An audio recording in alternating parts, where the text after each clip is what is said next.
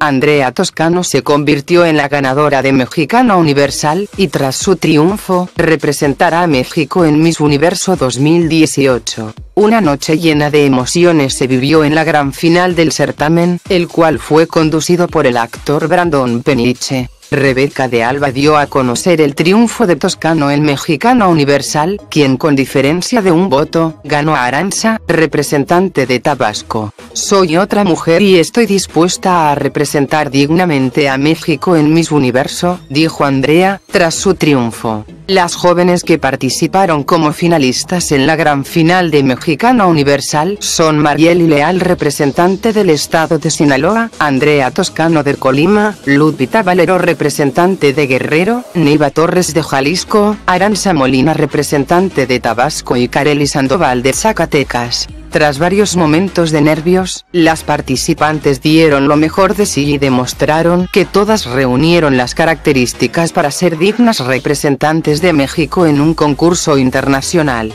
Previo a dar el nombre de la ganadora del certamen, se mencionó que Marieli, representante de Sinaloa, obtuvo el reconocimiento en la sección Camino al Éxito. El sexto lugar cayó en Kareli Sandoval, representante de Zacatecas. Me voy como una ganadora, gracias a todos por su apoyo y bonitos comentarios. Mi meta en la vida es ser la mejor en cualquier cosa que haga. En el quinto lugar, según votación del público y los jueces, con un 9%, recayó en la representante de Jalisco, Nevay Torres. Gracias a todos por su apoyo y me voy con el corazón lleno de emociones. La decisión del público para el cuarto lugar es para Guerrero, Lupita Valero, con un 17% de la votación. Gracias a Dios, a la vida, a mis jueces, a Lupita por cambiarme la vida.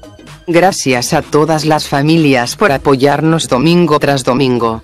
El tercer lugar lo ocupó con 21% de la votación la representante de Sinaloa, Marieli. Me voy contenta y feliz con mi tercer lugar.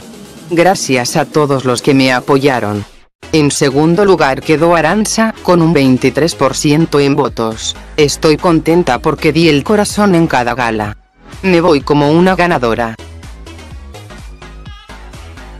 En mi opinión a nivel internacional la chica de Colima es muy bella, pero muy joven y en un Miss Universo ya tienen más tablas las damas que compiten y ganan tienen alrededor de entre 23 y 28 años. Les agradezco su atención. Hasta la próxima.